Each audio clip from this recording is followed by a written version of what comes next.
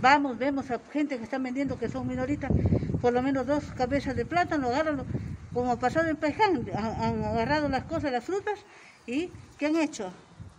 Porque lo tiene que hacer directamente el área de fiscalización. Agarran y lo regalan.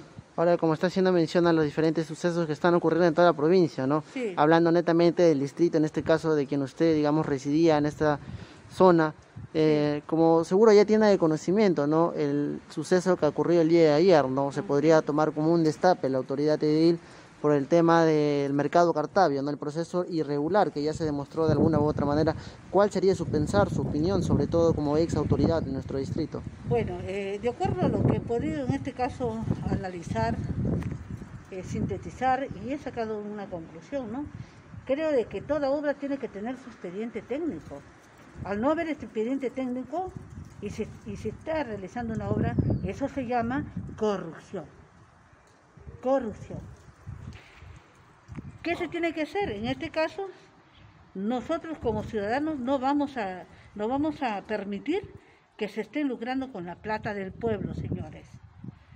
Si dicen que hay una obra, tiene que haber un expediente técnico. Tengo conocimiento que también hay firmas falsificadas, documentos falsificados, y eso amerita, de acuerdo al Código Procesal Penal, cárcel y de inmediato la destitución del alcalde. ¿Usted consideraría entonces que el alcalde en este caso estaría inmiscuido también en este tema? De hecho que tiene que ser así.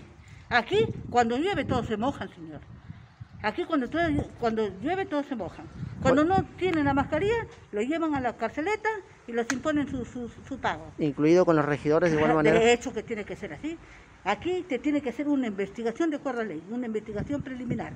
Si son culpables, que paguen de acuerdo al Código Procesal Penal, porque esto se llama corrupción de funcionarios públicos. En este caso, en este aspecto es el alcalde provincial, el alcalde distrital. Algunas palabras para la población que de alguna u otra manera esta noticia que han recibido le aqueja, ¿no? Porque eh, supuestamente las personas que de alguna otra manera supuestamente deben velar por el bienestar de la población en este caso se están lucrando más que otra cosa. Mire, yo le digo en este caso mis palabras concientizadoras son para el pueblo, para el distrito de Santiago de Cabo. Ya es tiempo, señores, que nos hemos dormido en los laureles. Ahora ya estamos despiertos a decirle no a la corrupción, no a la corrupción. Por eso yo siempre he dicho, tú podrás ser, tener 10 títulos de profesión, pero lo que vale la vocación de servicio, ¿De qué me vale tener títulos?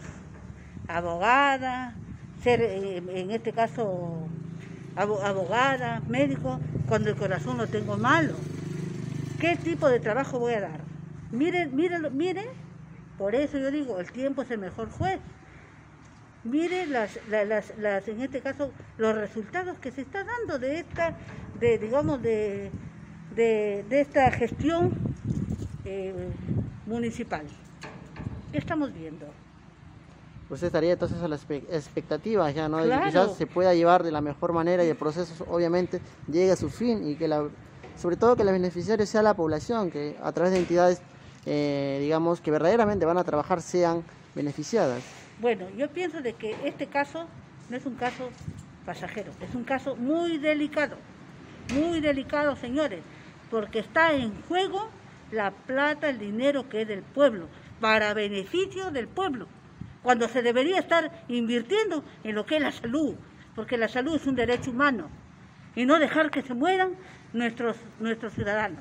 Palabras finales ya en este tema, quizás para la población. Que este caso no quede impune y que se esté en este caso velando en el Ministerio Público para que se haga la investigación correspondiente y, y darle seguimiento y no dormirlo en hacer lo que se duermen en los laureles de estos papelitos, porque tenemos que tener en, estos, en este aspecto resultados, porque hay elementos de convicción que ameritan de que el fiscal lo pueda en este caso ingresar en su carpeta fiscal para acusar a la persona que actuado de manera corrupta. Este sería el momento idóneo para que la población se junte y trabaje de manera mancomunada. De hecho, de, manera mancomunada. mancomunada para decirle así, fuera la corrupción en el distrito de Santiago del Cabo. Eso se acabó, señores. Eso se terminó.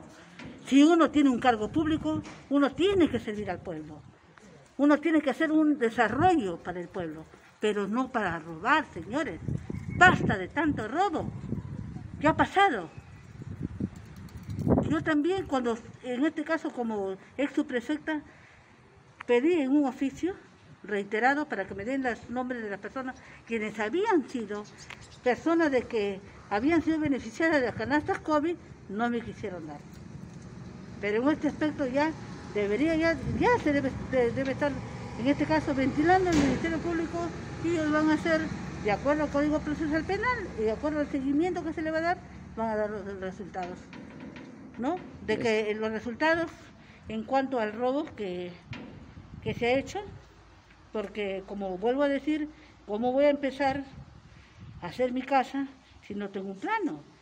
Y eso lo voy a invertir yo, pero ahora ya digo, ¿cómo se puede hacer una obra si no hay expediente técnico? Entonces, ¿cómo lo conceptuamos? Robo, pues amigos.